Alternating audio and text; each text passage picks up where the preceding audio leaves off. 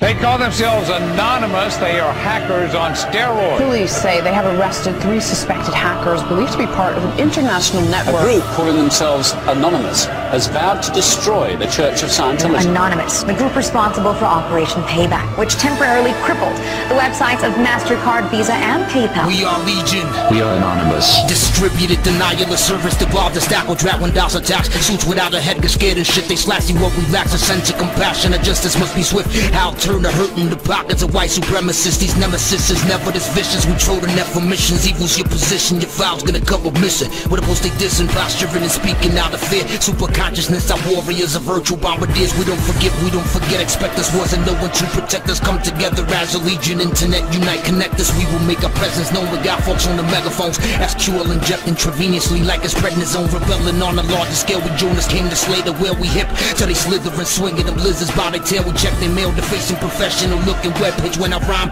I wake the sheeples catatonic vestige, in the message encapsulated in the rap track. Black facts is project knowledge, talking fat ass with a backtrack. And I'm the type of person never had jack. Destruction of Chris camp, or the way this ass that. We vigilant, the vigilante, highest staking up the anti-cross site script and Felicia Palmer with bunch the panties. Epilepsy Foundation, far from invasion. Turks and Brazilians, Tunisians, even Malaysians. Gawker website, we pulled that just to see, it, have a look about what's going on. Uh, it talks about the power people now have on the internet if they want to do this.